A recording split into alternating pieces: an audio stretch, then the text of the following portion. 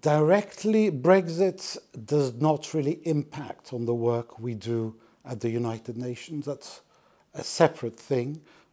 Public international law, our status under international law, self-determination.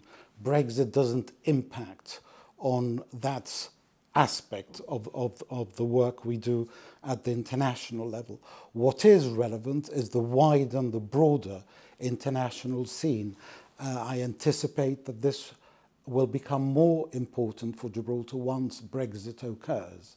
I think we will be looking more and more at international treaties, international uh, conventions um, that we may seek to comply with, for example, in environmental protection, where we will lose, unfortunately, a lot of the good work that the EU does on environmental protection, but in many instances EU work is driven by international conventions, uh, some of them adopted by, by, by, the United Nations itself, and all of that will become much more relevant to Gibraltar after Brexit. Likewise, the free trade and investment agreements that the UK will enter into once it recovers its sovereignty to be able to conclude trade agreements with third countries.